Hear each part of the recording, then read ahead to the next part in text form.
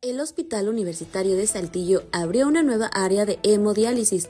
Además de expandir las áreas del hospital, también se tomó en cuenta atender a las personas que no pueden ser atendidas en otros hospitales.